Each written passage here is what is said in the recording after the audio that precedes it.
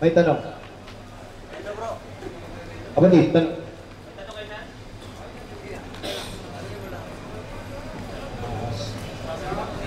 Hello, hello. Assalamualaikum. Ustad, ah, ang tanong ko lang naman, Ustad, ah, sabi pinako daw si Jesus alayhi salam. Ah, ilang araw na ipako at kung naipako si Jesus alayhi salam, sino ang Diyos nung ah, siya ay naipako sa krus? Parang si ano ka magtanong ah. Parang si Ibrahim Romas ka magtanong.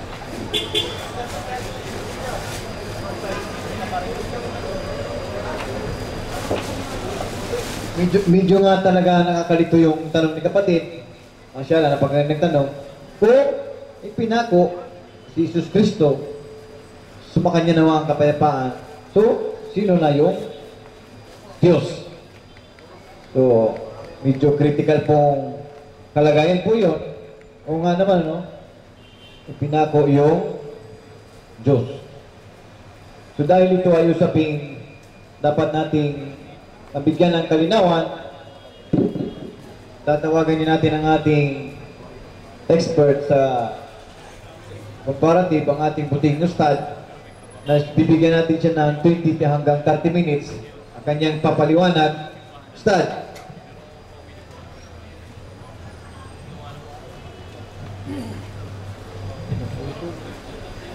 ang tanong, kung ipinako daw si Jesus Kristo doon sa kalagayan na yun, asan doon po yung Diyos?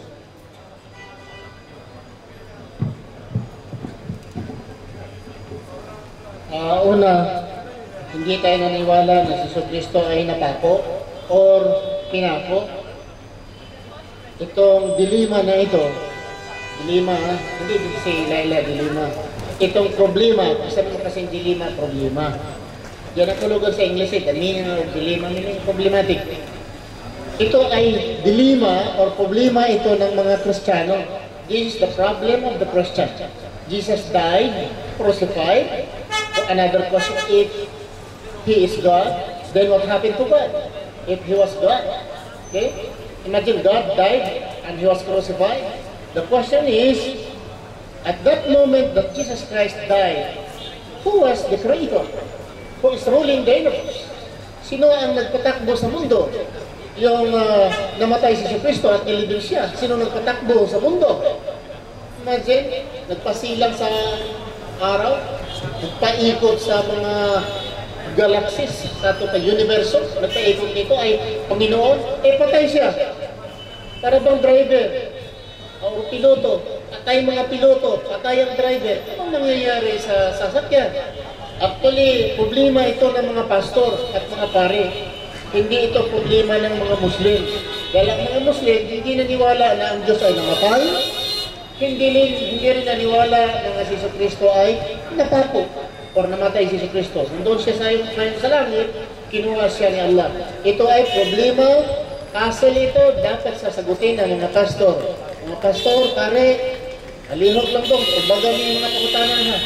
Di namin ni matubag kasi problema ninyo ito. Pakisagot kung sino mga pare dito, pastor, puro, even simple Christian. Pakisagot nga itong problema na ito dahil hindi ko masasagot itong problema dahil ako ay isang Muslim. Yun lang po ang madali kong masagot.